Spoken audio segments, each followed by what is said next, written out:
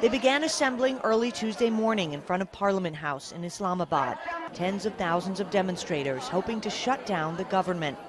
Supporters of populist Pakistani cleric Muhammad Tahirul Qadri, the group is calling for an end to government corruption and for delayed elections.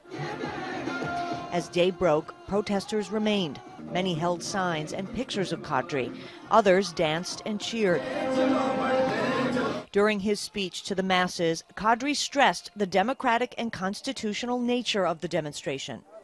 This is green revolution. This is peaceful revolution. This is democratic revolution. This is constitutional revolution. This is lawful revolution. His calls for a revolution have divided Pakistanis. Some hold him up as a champion of reform. Others see him as a stooge of the military, which has a history of coups and interfering in elections.